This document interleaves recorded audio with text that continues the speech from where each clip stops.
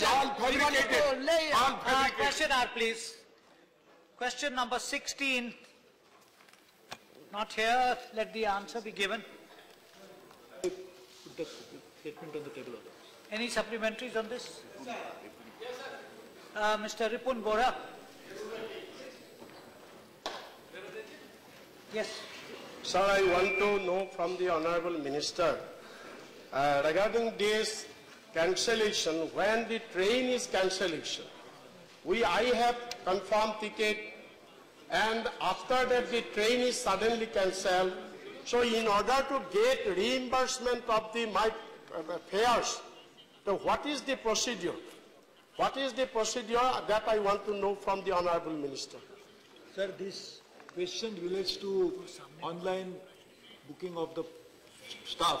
So I request him that I can answer a question supplementary on the related to the main question. Please, yes. No, no, no, this is, this you have is a related question to this, sir. on this Yes, yes, this, this is related to this only. This is e-ticketing. This is a question regarding e-ticketing, online ticketing, but it is in the same. Because yesterday they have said so many reforms, but when I go for reimbursement of my money, I have to run from pillar to post, Please, sir, from pillar to post.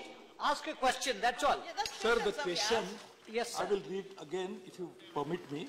Whether it is the fact that railway pass holders do not have facility to book tickets online. This is something to do with them.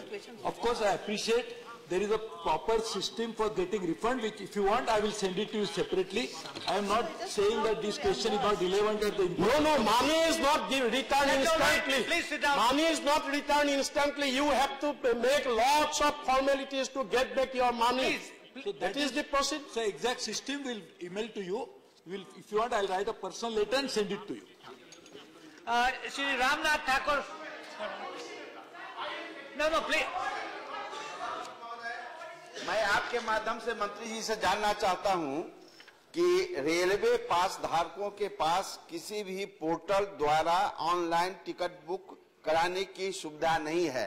हम आपके माध्यम से मंत्री जी से जानना चाहते हैं कि यह सुविधा कब से पूरी की जाएगी। Thank you thank you sir ये जो सुविधा रेल में काम करने वाले लोग और जो रेल से रिटायर्ड होने के बाद भी ऐसे तेरह चौदह लाख लोग हैं जिनको भी ये सुविधा मिलती है। ऐसे सब लोगों की सुविधा के लिए कुछ नियम मावली बनाई गई है काफ़ी सालों से। इसमें एक बिंदु ये भी है कि जो नियरेस्ट आपको जो रूट है, उससे जाना है ताकि कुछ लोग ऐसा नहीं करेंगे जहाँ से जाना, आसाम जाने तो पहले तमिलनाडु जाएँगे, फिर और कहीं जाएँगे, फिर आसाम पहुँचेंगे। इस तरह से सुविधा न हो, इसके लिए की गई है। ये बिल्कुल सही है कि आज के जमाने में ये ऑनलाइन भी की जा सकती है। लेकिन इसके लिए ये पूरा जो डेटाबेस है कि जिसकी एंटाइटलमेंट है, और एंटाइटलमेंट ऐसी होती है कि जो ग्रुप ए एंड बी के जो एम्प्लॉयज़ ऑफिसर्स है सोलह हज़ार तीन सौ साठ। और ग्रुप सी एंड डी के स्टाफ है, तेरह लाख बारह हज़ार चार सौ फोर तेरह लाख बारह हज़ार चार सौ फोर्टी नाइन और जो पासिस दिए जाते हैं, उसकी जो इंटाइटलमेंट है, वो बेसिक पे के ऊपर तय की जाती है। तो बेसिक पे भी बदला हो जाता है। तो उसीलिए पूरी तरह से उसका जो एक ह्यूमन रिसोर्स मैनेजमेंट एचआरएम जो हम कह रहे हैं उसके लिए हम काम शुरू किया है। हम लोग ये भी काम करें कि एंटरप्राइज रिसोर्स प्लानिंग की सुविधा से पूरा का पूरा डेटाबेस पूरी तरह से उपलब्ध हो ताकि फिर उसके बाद में कोई ऑनलाइन उसको जाके करना पड़ेगा उसका पासवर्ड भी बनाना पड़ेगा। ये सब सुविधा बैकबोन जो बनाने की ज़रूरत है उस पर काम चल रहा है। ये काम पूरा होने के बाद हमें सुविधा ऑनलाइन भी उपलब्ध करेंगे। Shri, Shri Ajay Sancheti. Chairman sir, मैं आपके माध्यम से माननीय मंत्री जी से जानना चाहूँगा। अभी जो उन्होंने जवाब दिया, मेरा सवाल उसी तरीके का था। लेकिन मेरा एक ही सवाल है उनसे कि जब यात्री कोई भी हो पास धारक हो या पैसा दे के टिकट ले रहा हो, ऑनलाइन सुविधा दोनों को समान मिलनी चाहिए। उसके पे पैकेज से इसको लिंक करने का क्या उपयोग है, ये मेरे समझ में नहीं आ रहा है। इसलिए बिना किसी इससे वेदर एच आर इश्यूज़ और all that it should be directly linked irrespective of any delay in the matter, this is my question, whether it can be possible or not. Thank you, sir.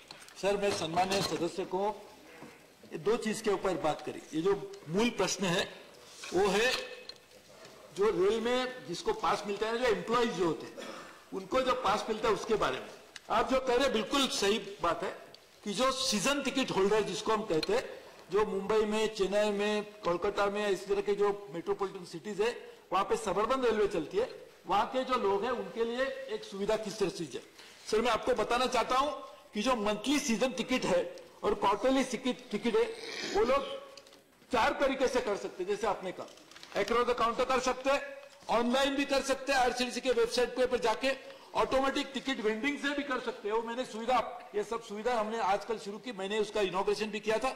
और अभी तो mobile app के ऊपर भी कर सकते यानी ये सुविधा सभी के लिए हम जो बात कर रहे थे, जो साहब ने भी पूछा, एक क्वेश्चन है कि आज जो पास फैसिलिटी प्रेजेंट एम्प्लॉयज़ और रिटायर्ड एम्प्लॉयज़ को दी जाती है, उसके बारे में कह रहा था कि एचआरएम सिस्टम आने की ज़रूरत है। आज आम आदमी यदि जाना चाह रहा है, उसको यदि सीज़न टिकट बुक करना है तो चार सुविधा मोबाइल ऐप से भी कर सकता है।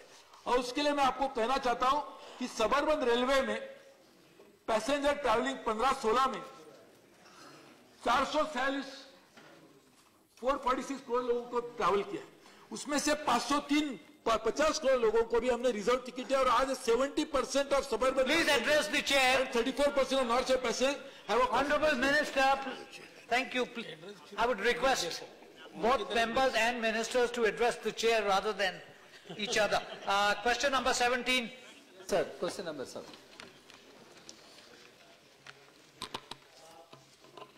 सभा पटल पर Supplementaries, please. Sir, the issue raised is a very serious one, but uh, the answer which has been given is very casual. Sir, uh, Bengal Chemicals and Pharmaceutical Works Limited uh, is a public sector drug company. HAL is a public sector drug company. IDPL is a public sector company. Why these public sector drug companies should be privatized? And the answer says it is done on the advice of Niti Ayog. Sir, Niti Ayog, uh, people say it is uh, National Institute for Transforming India. Actually, it is acting as National Institute for transferring public assets to private sector. Public, uh, uh, the- that is what, uh, sir, uh, uh, public health must be priority of the government, sir, you understand. People do not have equitable access to health care.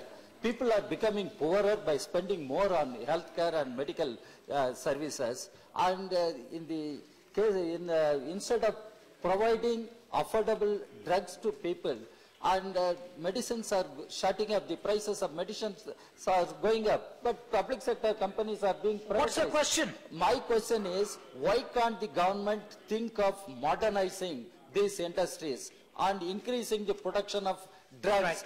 and giving, providing to the people at Thank affordable you. price? Why can't government Thank think you. of uh, modernizing the industries? Let your question be answered.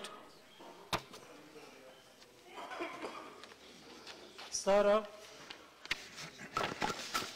जो दो सार्वजनिक company BCPL and एक अ, ये दो जो सार्वजनिक company है H ये दोनों फार्मास्यूटिकल्स कंपनी है सर, नीति आयोग ने सिफारिश की है। कुल मिलाकर सेवेंटी फोर पीएसयू है। वो सेवेंटी फोर पीएसयू जो सीख हुए हैं, सीख को रिवाइवल करने के लिए भूतकाल में कोशिश की गई थी और एक कोशिश को कोशिश सफल नहीं रही। बार बार उसको इंसेंटिव दिया गया था, लेकिन जब सफल नहीं नहीं रही, तब नीति आयोग ने निर्णय किया कि जो सीख कंपनी है, जैसे कि 74 ऐसे पीएसयू है, उसको बंद करे या स्ट्रेटेजिक सेल करे। उसके संदर्भ में ये जो बीसी बीसीपीआई और नेशनल एंटीबायोटिक्स लिमिटेड एक दो कंपनियों को स्ट्रेटेजिक सेल करने के लिए नीति आयोग ने जो सिफारिश की है और मंत्रिमंडल की एक कमेटी ने सिफारिश को स्वीकार करके कैबिनेट ने निर्णय लिया है कि ये दोनों कंपनियों का अ, उसको स्ट्रेटेजिक सेल किया जाए।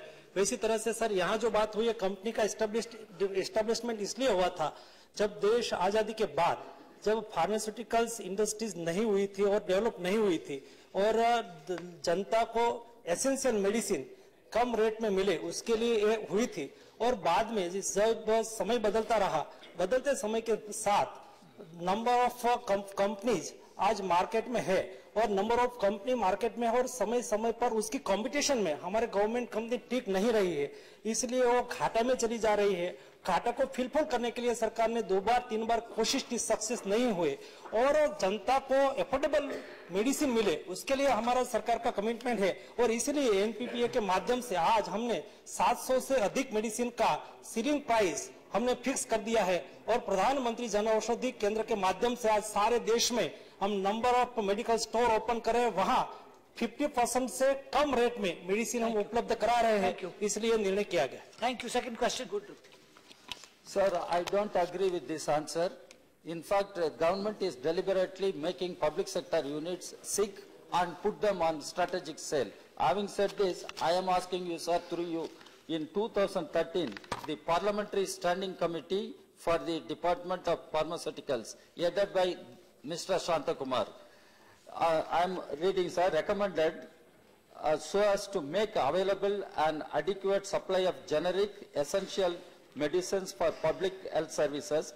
The committee, committee its uh, logic was that this had become necessary as private companies were not the answer to the need of the adequate supply of essential affordable generics. And the committee said the sick units must be rev- revived the sick units must be revived. What effort you made as a government? I am asking you. It Thank is you. parliamentary standing committee's report. Have you given any respect for the parliament standing committee's recommendation? Instead of reviving sick units, you further make them sick and trying to sell the public sector units? Thank what you. do you. you want to do in this country if public sector is uh, broken and destroyed like this? That is the strength of our economy, strength of our Thank you. system. Thank you. Let it be answered. uh, sir ये जो सार्वजनिक company है हमारे समय में सीख नहीं हुई है सर नेश एच एच एल है वो सर 1997 से ये सीख हुई 1992 में सीख हुई।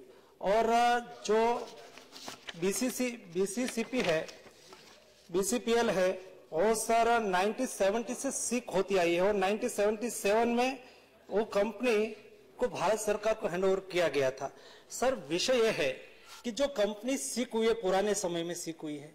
पुराने समय में सीख होने के बाद जब उसकी लाइबिलिटी बढ़ती रही और सरकार ने बार बार कोशिश भी की। सर सरकार ने उसने दो बार एक 1992, 1993 और 1997 में आईडीपीएल, एचएएल और बीसीपीएल को सरकार ने डायरेक्ट मदद भी किया। लेकिन भी ये कंपनी सस्टेन नहीं हुई, ये कंपनी प्रॉफिट में नहीं आई और उसकी लाइबिलिटी बढ़ती रही।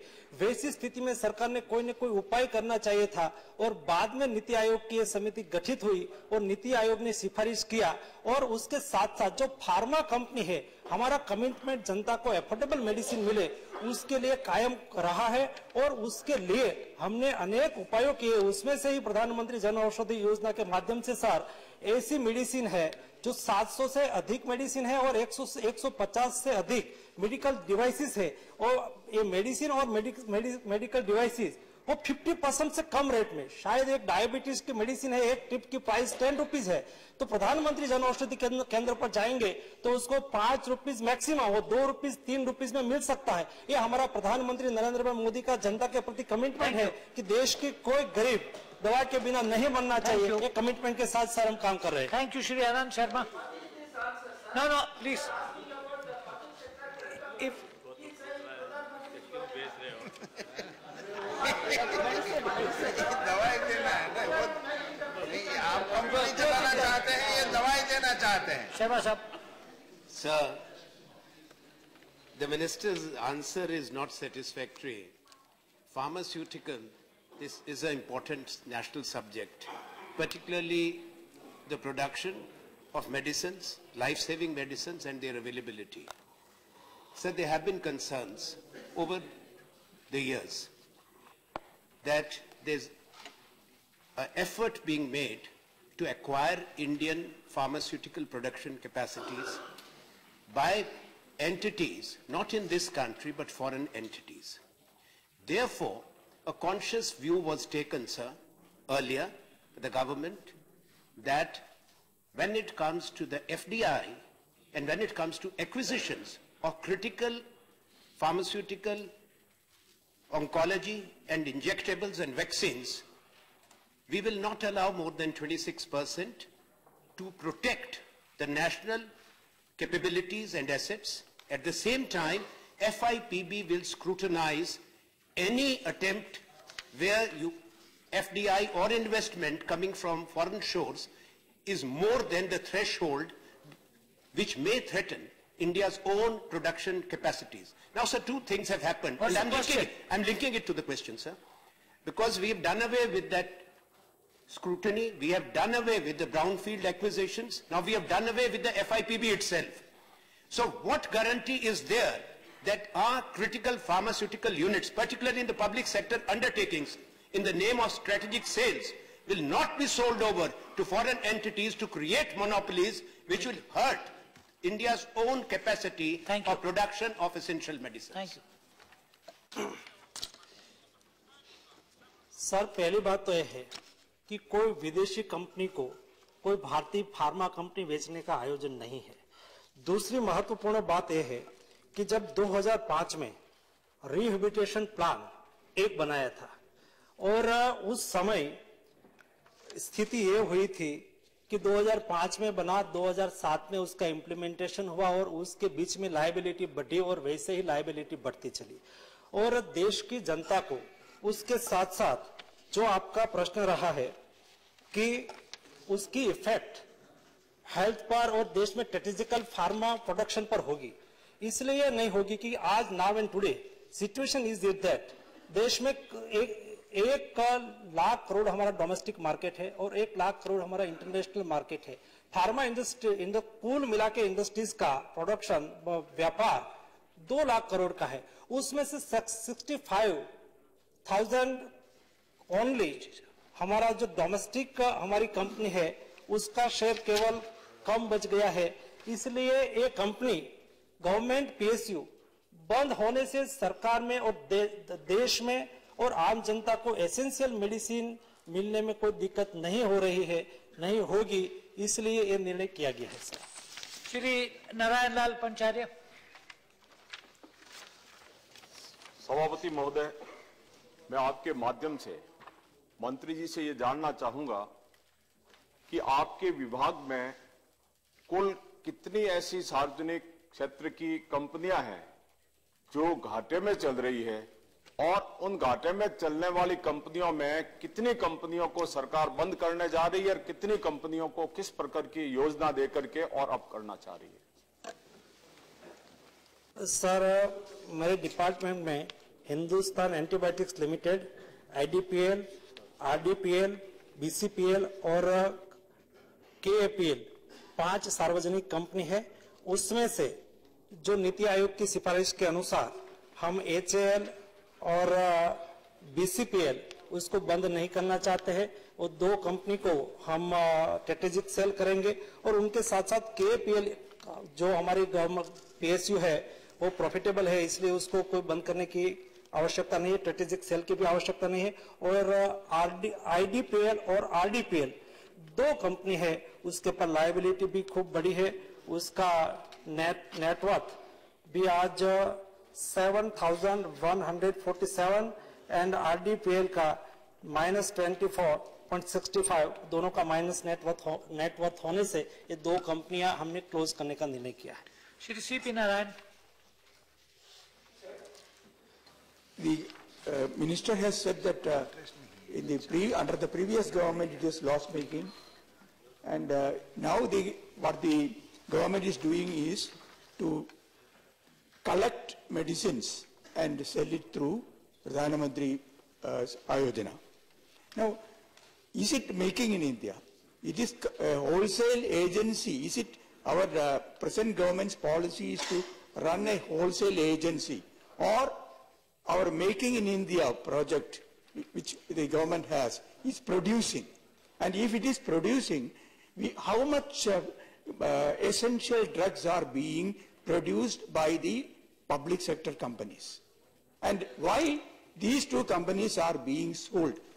You can, uh, the government, as far as I know, the science and technology department, various institutions, they are developing new projects new, new methods of producing medicine. Why we are not making use of those things? Thank you. Sir make in India के माध्यम से हम pharmaceutical sector में आगे बढ़ रहे हैं। देश में फार्मास्यूटिकल इंडस्ट्रीज़ आज 12 परसेंट ग्रोथ से आगे बढ़ रही है। और देश में जब जीएसटी बिल लागू होने से सारे देश में इंडस्ट्रीज़ को और बढ़ावा मिलेगा, क्योंकि अभी स्थिति ऐसी थी कि सभी स्टेट में अपना अपना टैक्स होता था और आज कोई स्टेट टैक्स हॉलीडे डिक्लेयर करते थे तो ये स्टेट में फार्मास्यूटिकल कंपनी उसका लाभ लेने के लिए चली जाती थी। इसलिए एक समान कर डेवलप होगा जीएसटी बिल से एक फार्मास्यूटिकल्स इंडस्ट्रीज़ को और भी बल मिलेगा। उसके साथ साथ जो भी संभव था जो शक्य है, उसको हम शुरू रखना चाहते हैं, जो प्रॉफिटेबल कंपनी है के केपीएल तो उसको हम कैसे वो आगे बढ़े? और जिसकी, जिसका नेटवर्क नेटवर्क माइनस में ज़्यादा चला गया है, और उसका रिवाइवल की संभावना मुश्किल है वैसी स्थिति में ही हम क्लोज कर रहे हैं, और आईडीपीएल और आरडीपीएल आज दो कंपनी को ही हम क्लोज कर रहे हैं, और कंपनी का स्ट्रेटेजिक सेल करेंगे, और जो प्रॉफिट प्रॉफिटेबल है, उसको शुरू रखेंगे, sir. Question number 18. Question number 18. Questioner not present. Let the answer be given. Sir उत्तर सभापति पर रखा गया है Uh, supplementary is uh, Shri Tiruchi Siva. Sir. So the government has decided to sell the surplus land of IDPL, RDPL and Niti Aayog, I think, suggests nothing but sale of the lands of the public sector undertakings. Sir, instead of reviving the sick units, studying into the reasons why they have fallen sick, the government is also in a hasty uh, move to close down all the public sectors. Sir, the public sector undertakings are the temples of economy of our country. When the whole world faced uh, economic recession, India withstood only because of PSUs. Instead of reviving, sir, since I was the chairman of the Parliamentary Standing Committee on Industry, our study revealed that the reason for the sickening of the PSUs is mainly mismanagement and non-upgradation of technology. So instead of concentrating on that side, why the government is in a haste to shut down these uh, PSUs and there is, should be a coordination between the DPE and the concerned ministries which should safeguard the PSUs as well as the employees The non-pay revision of the employees also brings in a low morale, sir. So I think the government has to concentrate more on reviving and the resilience of the public sector undertakings and what are the steps they have to take ans- instead of uh, uh, taking all the suggestions given by the Niti Ayog. Thank you. Sir sir मैं जब पहले बताया हमको कोई government PSU बेचने में रुचि नहीं है लेकिन ऐसे पीएसयू है, जिसको रिवाइवल करना मुश्किल है रिवाइवल करने में दिक्कतें हैं वैसी स्थिति में। हमने कोई जल्दीबाजी, जल्दबाज नहीं की है। उसके पर विस्तार से विचार विमर्श किया गया है। नीति आयोग ने जो सिफारिश की, वो सिफारिश को ग्रुप्स ऑफ़ मिनिस्टर ने विस्तार से उस पर डिस्कस किया है और ग्रुप ऑफ़ मिनिस्टर ने बाद में कैबिनेट को रिकमेंडेशन किया है और वैसी कंपनी के लिए ही रिकमेंडेशन किया गया है कि जिसको सर्वाइवल करना बड़ा मुश्किल है।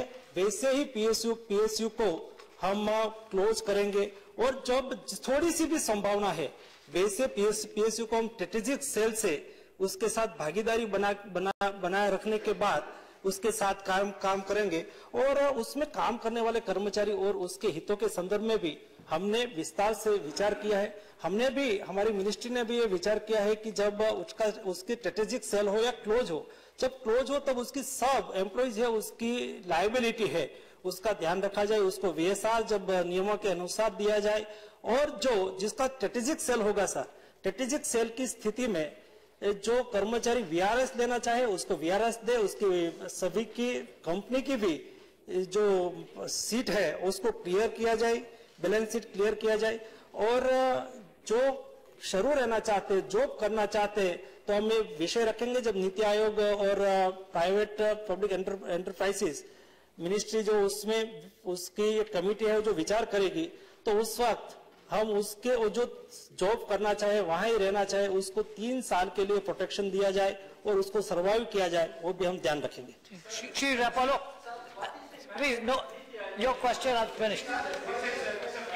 One, one- no, no, no, one minute.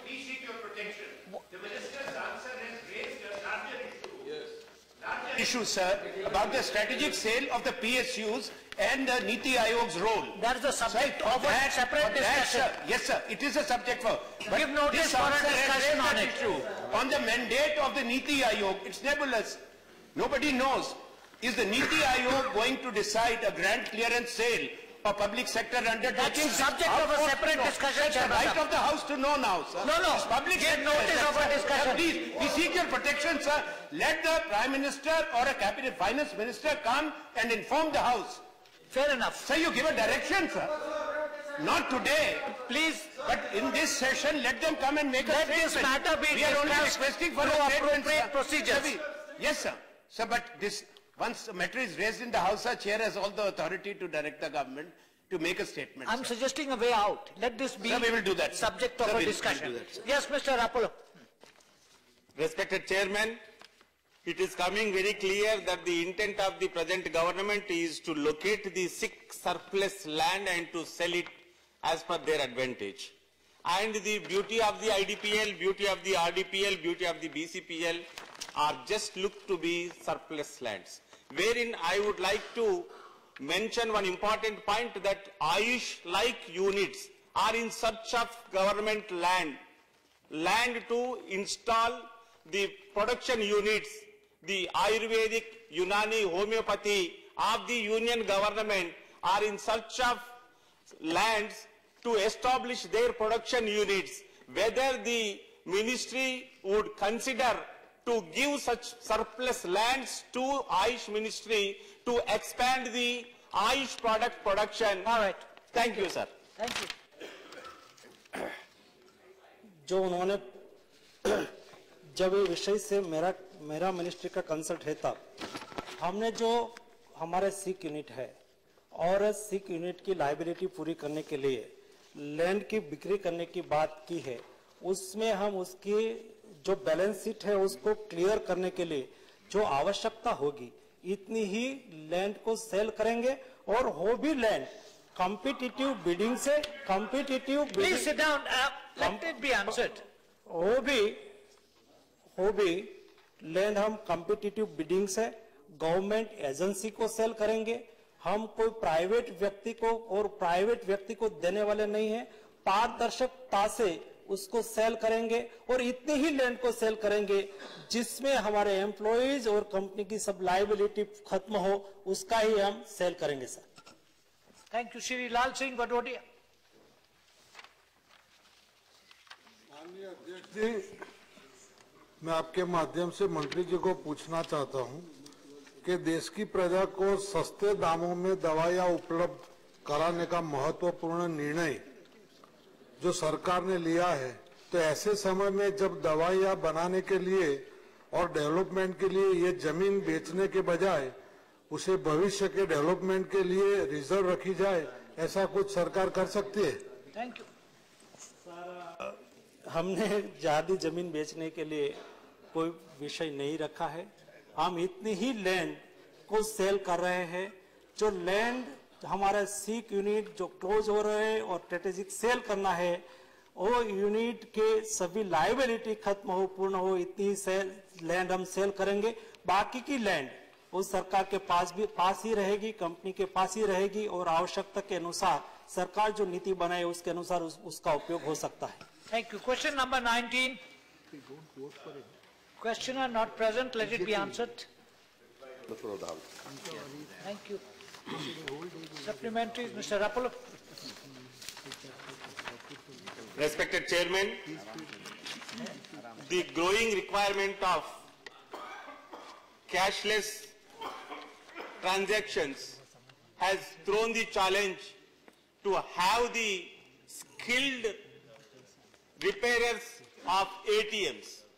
In this light, I would like to know from the Union Ministry whether they are going to give any credence to the industrial institutes where there are 8th class, 10th class students, those who are getting trained into the electronics and the hardware repairing, with the, with the involvement of Information Technology Ministry, the ITI, ITIs can attain a Thank you. service providing and the technology expanding institutions. Are you going to contemplate to give any extra focus to give support to the ITIs in Thank the you. country? Thank you. Sir, I am happy to inform.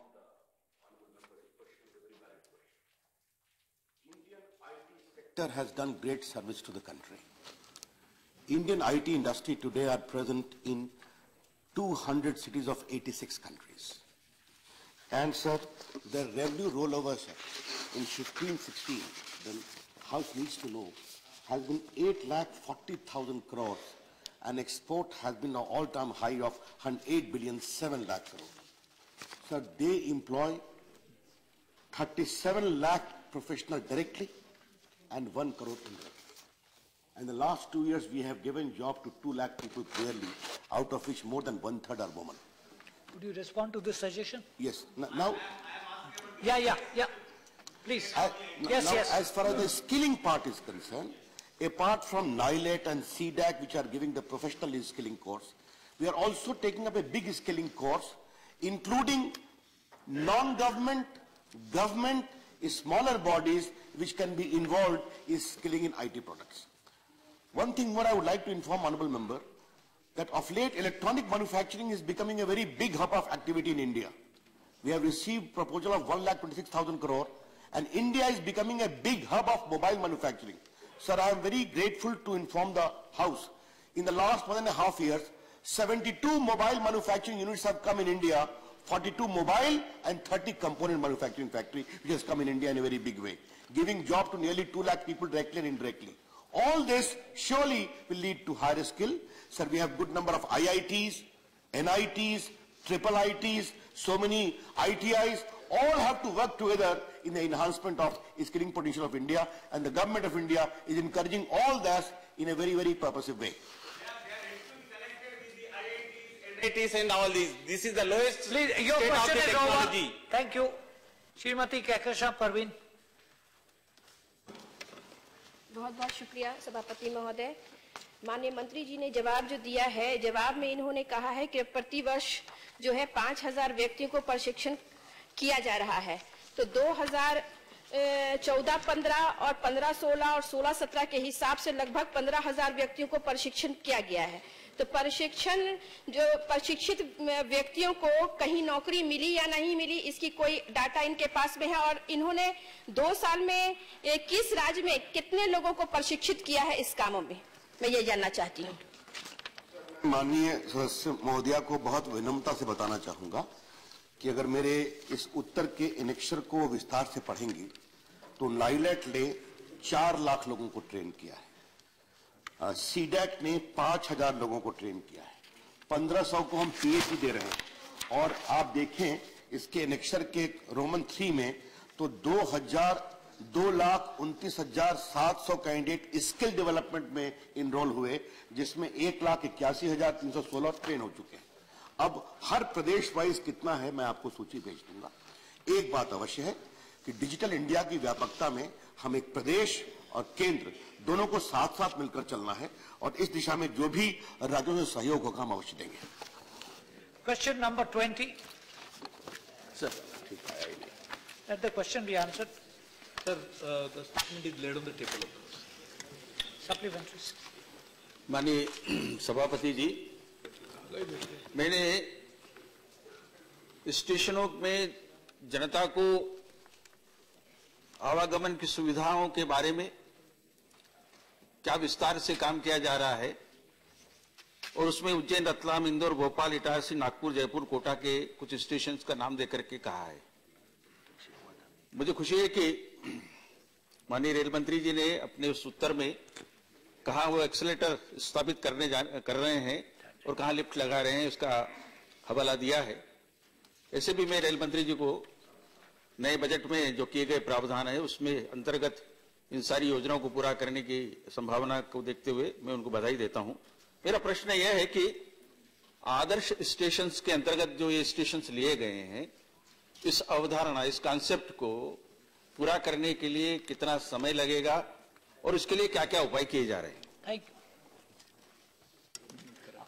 Sir, ये सही है कि हम लोगों ने एक बड़े पैमाने पे आम आदमी की सुविधाओं को ध्यान में रखते हुए और खास करके बुज़ुर्गों को और जो दिव्यांग है, उनको जो दिक्कत आती है, उसको टालने के लिए सुविधा देने का जो नया प्रबंध शुरू किया है, इसमें लिफ्ट और एस्केलेटर देना भी एक स्वाभाविक, बहुत ही बड़ा अहम काम है। हमारी जो अभी उम्मीद है कि 770 हम लोगों ने प्लान किए हुए, उसको देने की शुरुआत भी हम करेंगे। जैसे सम्मान्य सदस्य ने पूछा है बिल्कुल सही है कि सभी स्टेशनों को देना ज़रूरी है, लेकिन शुरू में A one category A category और सी कैटेगरी ऐसे स्टेशनों के ऊपर हम ज़्यादा ज़ोर देकर एक काम करने की हम लोगों ने शुरुआत की है। और मुझे लगता है कि जिस तरह से हम लोग कर रहे हैं तो आपको पता होगा कि 75 कैटेगरी स्टेशन ए कैटेगरी है 302 स्टेशन ए कैटेगरी का और सी कैटेगरी के चार सौ स्टेशन है। साथ ही में इसमें से कुछ स्टेशन को आदर्श स्टेशन भी चुना गया है, जैसे आपने पूछा। तो आदर्श स्टेशन के सभी लोगों को देने के लिए कुछ समय लगेगा, क्योंकि इसके लिए जो धन लगता है, ये पैसेंजर एबिलिटी से आता है। हमने कुछ समय से पैसेंजर एबिलिटी को बढ़ने की शुरुआत की। तीन साल में करीबन तीन हज़ार करोड़ से भी ज़्यादा पैसेंजर एमिनिटीज के लिए दिया गया है। और ये भी हमें पता है कि ये बिल्कुल पूरी मात्रा में पर्याप्त नहीं है क्योंकि लोगों की मांग ज़्यादा है। इसके लिए हम लोगों ने सीएसआर के तहत भी मैंने कुछ कंपनियों को अपील की थी और मुझे कहने के लिए खुशी है कुछ कंपनी आगे आके हमें बहुत बड़ी मदद भी की है। जैसे कि डब्ल्यू ने हमको 30 करोड़ रुपया देने की ऑलरेडी दिया है उससे हम लोग कैटेगरी सी में भी इस तरह के लगा रहे हैं। लेकिन मैं सबसे अपील करूँगा कुछ सांसदों ने question. Just answer his question. His question was how I will be able to, how soon I will be able to fulfill it. So I'm saying it depends upon the availability of resources. That's why passenger amenities have been stepped up. We are getting CSR and there are a lot of honorable members who have given 5 crores each from this contribution. So if Thank you. you can also contribute, I'll be very happy to do it. Thank you. Second question. माननीय सभापति जी बात यह है कि जो model stations बनाए जा रहे हैं उस मॉडल स्टेशंस को पूरा करने के लिए कोई लक्ष्य तो हमको रखना पड़ेगा क्योंकि हम पुराने स्टेशनों को छोटे मोटे बदलाव करके उसमें कुछ सुविधा उपलब्ध करा कर करेंगे तो ये बातें पूरी नहीं होगी। और इसलिए नई नई प्रकार से उसकी रचना करके उसको करना होगा, जिसमें नागदा का जो स्टेशन है, जो बड़ा औद्योगिक क्षेत्र है, वहाँ दोनों ही छोरों पर, दोनों ही इंडस्ट्री जहाँ पर है, वहाँ पर और शहर जहाँ पर है, उन दोनों छोरों पर भी और सुविधाओं का विकास करने की आवश्यकता है। पूरा नागदा जंक्शन स्टेशन बड़ा स्टेशन है।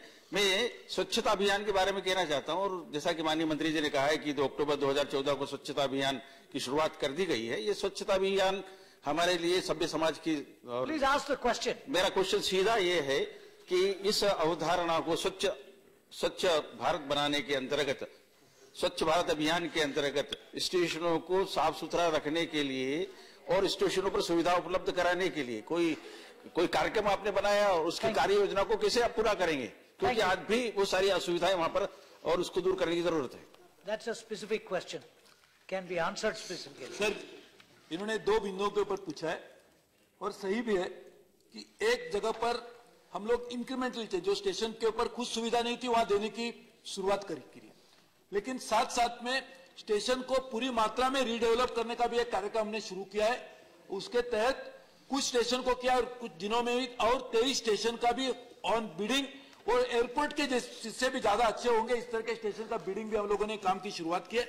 और मुझे विश्वास है इससे भी जो सुविधा आप जो कह रहे हैं सभी station will be fitted with all modern amenity अभी ये स्वच्छ रेल का जो अभियान है इसके तहत बहुत कुछ बिंदु है।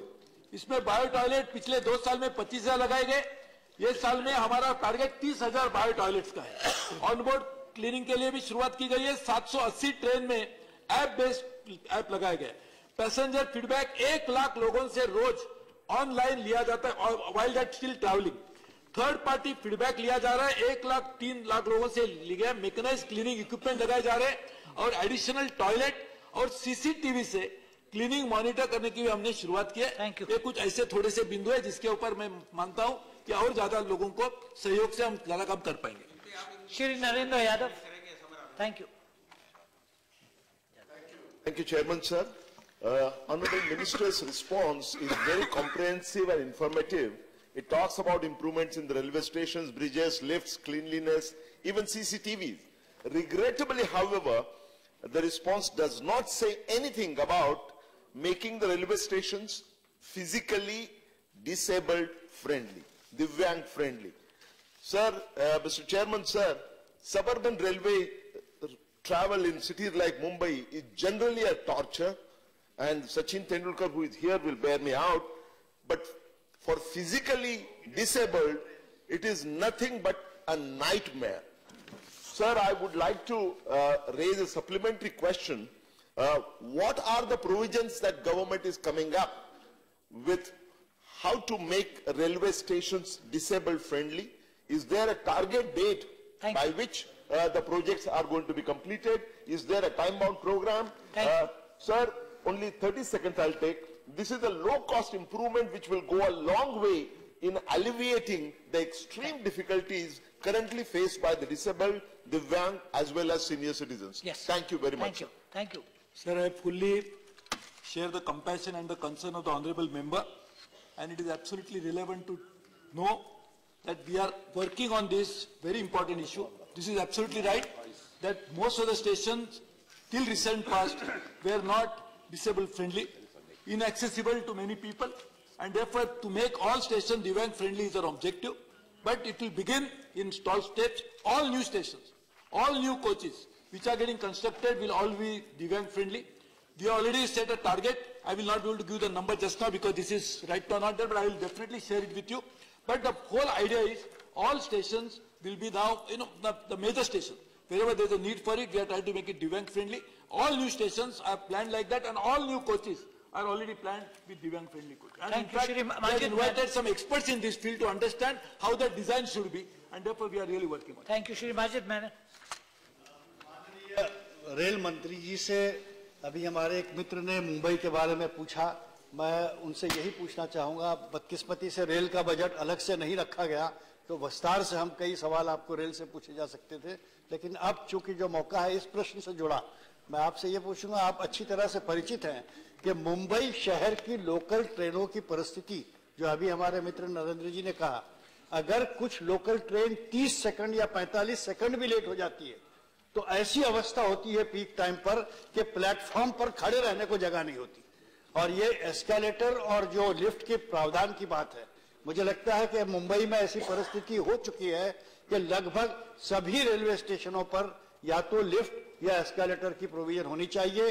Disabled commuters elderly commuters women and sick commuters are finding very difficult to climb from one platform to another when the announcement are made that the train is coming on number five instead of number three तो ये बहुत आवश्यक है मैं rail मंत्री का आभार मानता हूँ कि उन्होंने पिछले वर्ष भर में जनरल मैनेजर सेंट्रल रेलवे और वेस्टर्न रेलवे की हमारे खासदारों के साथ सांसदों के साथ मीटिंग रखी थी मगर उसके कुछ फलस्वरूप हो नहीं पाया। आपका अलग बजट नहीं आया हमारी बड़ी आशाएँ थी कि आप मुंबई के लिए बहुत कुछ देंगे ताकि मुंबई के कम्यूटर को कुछ सुविधाएँ मिले। थैंक यू सर हमारे सम्मान्य सदस्य बहुत जाने माने एडवोकेट भी है तो उन्होंने बहुत अच्छी तरह से मुंबई की समस्या के बारे में लोगों की समस्या हमारे सामने रखी है और उनको जान के खुशी होगी कि देश के इतिहास में शायद पहली बार एक शहर के लिए 55,000 करोड़ पचपन हज़ार करोड़ रुपए की अपग्रेडेशन ऑफ़ इंफ्रास्ट्रक्चर की योजना हमारे सम्मान्य प्रधानमंत्री जी के उपस्थिति में हम लोगों ने लॉन्च की थी। चौबीस दिसंबर 2016 में कुछ पाँच हफ़्ते पहले। उसमें एलिवेटेड कॉरिडोर भी है। इसमें जो हमारी मुंबई अर्बन ट्रांसपोर्ट प्रोजेक्ट तीन भी है। और उसमें 56,000 करोड़ रुपए की इन्वेस्टमेंट के बाद मुझे विश्वास है कि लोगों की समस्या बड़ी हद हद में कम हो जाएगी। ये बजट में भी उसके बारे में लिखा है शायद वो बजट की पूरी जानकारी आपको मिलेंगी तो आप भी उसके अवगत हो जाएँगे। मुंबई में लिफ्ट लगाने के लिए जैसे मैंने कहा आपको सुन के खुशी होगी तीस करोड़ रुपया हम लोगों ने सिर्फ़ सीएसआर के तहत डब्ल्यूसीएल से लिया है और उसमें 33 अलग अलग स्टेशन जिसमें सेंट्रल रेलवे के 19 स्टेशन है और वेस्टर्न रेलवे के 33 स्टेशन सॉरी दोनों मिलके 50, दोनों मिलके 14 सेंट्रल रेलवे के 19 स्टेशन वेस्टर्न रेलवे के 14 स्टेशन 33 स्टेशन के ऊपर काम करने की शुरुआत भी हुई है कुछ टेंडर्स भी इशू किए गए तो मुझे बुरा विश्वास है कि इससे भी लोगों को राहत मिलेगी लेकिन मैं पूरी बात मात्रा में आपसे सहमत हूँ कि मुंबई में जिस तरह से ट्रैफ़िक का लोड है पचहत्तर लाख लोग रोज ट्रांसपोर्ट सिस्टम सबरबन का यूज़ करते और उसमें बड़ी मात्रा में परिवर्तन पिछले 40-50 साल में नहीं हुआ था। इसके लिए एलिवेटेड कॉरिडोर उसके साथ साथ इंफ्रास्ट्रक्चर का अपग्रेडेशन करने की ज़रूरत है और इसके लिए हम पूरी मात्रा में इसमें लगे हुए आपकी सहयोग के लिए मैं बहुत बहुत धन्यवाद देता थैंक यू श्रीमती विप्लव ठाकुर धन्यवाद। मैं मंत्री जी से ये जानना चाहूँगी कि दिल्ली में आपने एक्सीटर लगाया हुआ है जो फ़र्स्ट उसमें जाता है। उसके बाद जो प्लेटफॉर्म टू, प्लेटफॉर्म थ्री या प्लेटफॉर्म फोर या फाइव पे सीढ़ियाँ उतर के लोगों को जाना पड़ता है। और वहाँ के लिए जो ओल्ड सीनियर सिटीजन है, या जिस तरह से इन्होंने कहा हैंडीकैप्ड है, या, और सामान उठा के उनको उन सीढ़ियों से उतरना और चढ़ना बहुत मुश्किल हो जाता है। तो जे ये जो आपका प्रोग्राम है आप पहले दिल्ली में क्यों नहीं शुरू करते जहाँ पे इतने सारे भारत के सारी दुनिया के लोग यहाँ आते हैं और उन सीढ़ियों से उतरना और चढ़ना इतना मुश्किल हो जाता है मैं यही जानना चाहती हूँ कि उसके लिए वो क्या प्रावधान करना you. रहे हैं। थैंक यू सर जैसे मैंने कहा कि सब जगह पर ए ए प्लस ए और सी कैटेगरी में हम लोग एस्केलेटर लगाए जा रहे हैं। लेकिन ये बिल्कुल सही है। कि जैसे न्यू दिल्ली स्टेशन लीजिए, उसमें बहुत सारे प्लेटफॉर्म है। यदि हम सब प्लेटफॉर्म पे एक ही स्टेशन पे लगाएँगे तो जो हमारे पास मर्यादित मात्रा में धन उपलब्ध है, वो शायद कुछ स्टेशनों पे लगेगा। तो हम ये कोशिश कर रहे हैं कि पूरी मात्रा में ज़्यादा से ज़्यादा स्टेशन के ऊपर ये बात लगे। और यदि जिस तरह से हमें धन उपलब्ध होगा, कि आपको भी जानते रेल की फाइनेंशियल पोजीशन क्या है, उसके बाद में भी हम लोगों ने, जैसे मैंने आपको बताया, कि कितनी बड़ी मात्रा में हम लोगों ने उसमें बढ़ोतरी भी लाई है। लेकिन ये बिल्कुल सही है कि सब प्लेटफॉर्म पे लगना चाहिए मैं भी मानता हूँ लेकिन मैं आपको जानकारी के लिए कहना चाहता हूँ पिछले अढ़ाई सालों में जितने एस्केलेटर लगे उसकी मात्रा में आप देखेंगे तो पहले अढ़ाई साल पहले कितने थे इतने बड़ी मात्रा में हुई है और मैं बिल्कुल मानता हूँ इसमें बढ़ोतरी होनी चाहिए और साथ साथ Please sit down. Please, please sit down. No, no, don't intervene like that. Question number 21. Question 21. Questioner not present. Let the question be answered. Sir उत्तर सदन के पटल पर उपस्थापित Uh, Shrimati Vijila Satyanak. Sir, the BSNL broadband users face problems since the domain name server, the DNS, is not that much active and it doesn't respond at many times because many, the new default router, when we get a, a new uh, BSNL connection, no, usually the best one for performance, they don't, they don't give us the better performance uh, quality products. So because of this, uh, usually we face problems and at times that we have to pay four times more than the private uh, players and also they give us better connectivity than the BSNL where we pay four times more. So I, do want to know from the government whether the BSNL and MTNL internet service providers will um, come up with the time and use the latest technology, use the latest uh, equipments, upgrade the equipments, especially upgrade everywhere the equipment Thank so you. that the connectivity will be better in the future. Thank you. Yes. Uh, Sir, Honorable Minister Shri Manoj Sinha of the department is absent, sir. Upon his request, you have been kind enough to allow me to reply on his behalf, sir. Uh, Sir, I have taken note of the suggestion of the honorable member, sir. Uh, BSNL is improving a lot of its operational activities and requirement. There has been a legacy issue also which I had occasion to earlier share in this house. It has a profit of 10,000 crore in 2004 earlier, came down to 8,000 crore loss. But today I'm happy to, I'm today I'm happy to announce this house that their operating profit has gone up by 4,000 crore and the loss is also coming. And their revenue has also gone up. They are investing into new products, you are right. There is a need for greater involvement and they are giving one mega uh, byte free services for this whole uh, broadband. Surely we take note of your suggestions about any specific area, any specific complaint is there. Surely the officers will respond to it. Sir, one thing this house needs to know, sir, it's very important. my good friend Mr. Raja was talking about PSUs. The human resource component of MTNL and BSNL is 50% of their revenue expenditure, 50 to 60, establishment cost. In the case of private, it is only 2 to 3%. In spite of this heavy load, for good measure, we need to support employment. If they are doing so well, they are coming into profit, they are making new investment, I think this initiative needs to be appreciated as to how they are turning around. Secondly, this also, this also needs to remember, in natural calamity, it is only these public bodies which give free services, we need to appreciate that. In case of Chennai, you know it very well. So their good part also needs to be appreciated. If there is a specific issue, we'll surely look into it. Shri Rapolo. Respected Chairman, now we are in the age of struck India, hanging India, hacking India, and keeping the capacity, strength and the understanding of the senior minister, even in the absence of the regular minister, I would like to know from him about the government understanding about the broadband connectivity and the scope of present broadband connectivity and the necessity of the broadband connectivity, keeping the growing demand of the cashless, digital, demonetized conditions so as to serve the PIOs and all other cashless transactions which are now leading to the hanging websites and struck credit card transactions and keep this in view in assessing the broadband connectivity and its requirements Thank for you. the future needs. Thank, you, sir. Thank you. I was also taken aback. I'm grateful. Sir, the interest of the honorable member in digital payment, I quite appreciate. Keep it up. Please, please, you have asked your question. We, we all will be benefited by your wisdom one day. Sir, as far as this internet penetration is concerned, his point is fairly well taken. India today is home to about 50 crore internet penetration. We need to increase it. We are expanding connectivity of Gram Panchayat but optical fiber network. And sir, I want to gently remind this house that it was started by your government, Mr. Anand Sharma. NOFAN it was known as. Now we have made it BharatNet. It was started in 2011. In 2014, total optical fiber laid was 358 kilometers in three years. We have laid down 1,92,000 kilometers in two and a half years. That is how we are doing. We need to do it further. I don't say that. Private players are coming. Wireless Wi-Fi technology is coming in a very big way.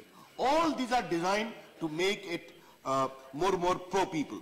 And, sir, I go to lot of these startup convocations, sir. I see young men are doing so well in coming with new technology for broadband. So All have to work together. I take your suggestion on board, but let me tell you, Indians first observe technology, then they adopt it, and then they become empowered in the process. And I see a lot of new technologies coming in India to further expand internet in the country. Thank you. Shrimati uh, please, uh, one minute, one minute, your question is over.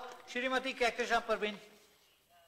प्रिय सभापति महोदय मैं माननीय मंत्री जी से ये जानना चाहती हूँ आपके माध्यम से कि बीएसएनएल और एमटीएल के उपभोक्ताओं की संख्या गाँव में पाँच साल में बढ़ी है या घटी है? और कितने गाँव में इन दो सालों में स्पीड हाईफाई नेटवर्क लगाए गए हैं? थैंक यू सर इस विभाग को अब मैं नहीं हैंडल कर रहा हूँ लेकिन यह प्रश्न से संबंधित नहीं है। फिर भी अपने अनुभव के आधार पर हमको बताना चाहूँगा कि आजकल बीएसएनएल 20 लाख कस्टमर प्रति महीने ऐड कर रहा है और देश का चौथा बन गया है, जो पहले संख्या पाँच छह लाख में हुआ करती थी। तो उनके इस विकास के लिए उनका सम्मान तो होना चाहिए।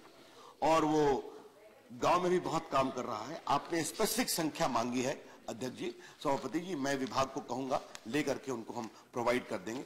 एक बात हमें अवश्य कहना चाहिए, भारत में जो तकनीकी बदलाव हो रहा है, उसके मद्देनजर मैं देख रहा हूँ कि विस्तार से नई नई सेवाएँ शुरू होंगी। और बीएसएनएल भी उनको काफ़ी इंप्रूव करेगा। एमटीएनएल दिल्ली में लगभग हज़ार नए बीटीएस लगाने की योजना बना रहे हैं। मुंबई में वो काफ़ी काम कर रहे हैं। तो मिलकर काम करेंगे निजी क्षेत्र भी काम करेंगे और पीएसयू भी काम करेंगे। ऐसा मिलकर देश को सशक्त करेंगे। Question number 22. Vibram Sir, question number 22, sir. Yes. Now, सभा पटल पे रख उत्तर सभा पटल पे रख आप जवाब देंगे? हाँ हाँ मैं चलिए supplementaries please. Sir, this is a very serious uh, question, sir. It has to be dealt in detail, but since being a question hour, sir, I just want to concise the question, sir. And I request you to kindly give permission to have a separate discussion on this. Sir, India is basically an agriculture country and our population is increasing enormously. And sooner or later, we are going to surpass even China in population, whereas the area of India is only one-third of China, sir. In this situation, when the requirement for food is increasing, the agricultural, cultivating agricultural lands are being converted for non-agricultural purposes. Sir, the statistics show very clearly that in the year 2013-14, 26.91 million hectares of agricultural land have been converted for non-agriculture purposes. That is 2 crore and 70 lakhs hectares of agricultural land. When the population is increasing and when the food requirement is increasing, when it is diminishing or decreasing to this very, very alarming situation, what are the steps the government is keeping in mind? They may say that it is a state issue, sir, but when the state, uh, central government can issue directions to the state government how to acquire lands and all, there must be a stringent law that agricultural lands should not be converted into non, uh, for non-agriculture purposes. Thank you. Whether the ministry is having such an intention, kindly I would like to know. sir. Thank you. Chairman sir अ, सांसद श्री शिवा ने जो प्रश्न उठाया है sir कि agriculture ज़मीन घट रही है और फ़ूड सिक्योरिटी के बारे में इनको चिंता जताया है। माननीय अध्यक्ष जी, मैं माननीय सदस्य के ध्यान पे और आपके माध्यम से सदन के ध्यान पे बुलाना चाहता हूँ, जो आप गौर करेंगे तथ्यों को। 2010 से लेके ये वर्तमान समय तक के जो फिगर्स हैं, उनमें एग्रीकल्चर का जो प्रोडक्ट है, जो अपना टोटल प्रोडक्शन है, उस पर आप गौर करेंगे तो 244 मिलियन टन से लेकर अभी तक इस साल मतलब 15 16 तक का जो फिगर है हमारे पास और 16 17 का जो आने वाला है, वो 252 मिलियन टन्स का है। वो कंटिन्यूटी में आप देखेंगे तो 13 14 और 14 15 और 15 16 जो सूखा का था, उसी समय भी एग्रीकल्चर में नेशनल जो अपना प्रोडक्शन था एग्रीकल्चर का, वो कम नहीं हुआ है। इसका मतलब ये हो रहा है, ज़मीन तो घट रही है, वो फैक्ट है। इसको कोई नकारा नहीं जाए। जो डेवलपमेंट के जो भी काम हो रहे हैं, नई सड़कें बनेंगी, नए रेल बनेंगे, नए रास्ते बनेंगे, नई आबादी के लिए घर बनेंगे, इसके लिए ज़मीन तो कटेगी। मगर इनका इलाज करने के लिए, और खास करके माननीय सांसद ने जो बताया है कि हमारी आबादी बढ़ रही है और हम चीन से भी आगे निकल जाएँगे। इनको खाने की दिक्कत ना हो फ़ूड सिक्योरिटी की दिक्कत ना हो, इसके लिए भारत सरकार ने जो कदम उठाए हैं, इसके चलते इस साल आज तक के इतिहास का रिकॉर्ड उत्पादन इस देश का किसान करने जा रहा है ये मैं आपके माध्यम से संसद के ध्यान में डालना thank you second question sir the minister's reply is justifying the conversion of cultivating agriculture land to non agriculture land will not affect the food production sir sir I would like to know from the minister when he says that food production has increased comparatively what it was and what it is now and whether it would meet the demand and supply situation. And agriculture sector is the largest sector which provides more employment. And the uh, production which he says nowadays is uh, by way of modern uh, technology, uh, non-conventional, which doesn't suit our soil and it has already displaced too many number of agricultural workers. And introduction of genetically modified seeds would also encourage the farmers that they would get more yield, sir. But in that case, we have to uh, we stretch our hands to foreign countries even for our seeds and our conventional agriculture would be totally uh, erased, sir. So in that situation, sir, this uh, statistics showing that food production has increased by non-conventional method will not suit us. We have to stick on to conventional. What I would urge the minister is that kindly see to that no more agricultural land is converted for non-agricultural purpose. Thank you. Thank you. Manya ये मेरा कहना कतई नहीं था कि मैं agriculture land को non agriculture में कन्वर्जन हो रहा है उस उससे हमें खुशी हो रही है इसके पक्ष में है ऐसी कोई बात नहीं है और भारत सरकार ये चाहती ही नहीं है कि एग्रीकल्चर लैंड का नॉन एग्रीकल्चर में Uh, कन्वर्जन हो मगर सर ये afraid question hour is over. Thank you, sir. The house is adjourned till 2:30 PM. बढ़िया किया आपने